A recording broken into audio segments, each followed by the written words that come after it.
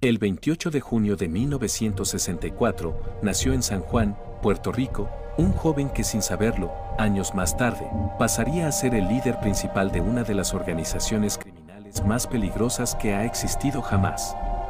Un joven que, a pesar de nacer en una familia humilde y de padre honesto, decidió elegir el camino del mal.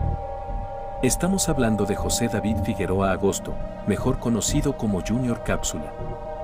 Figueroa Agosto no siempre fue un delincuente.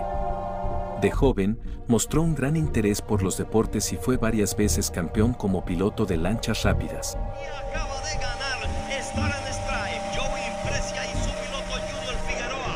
El ojo es-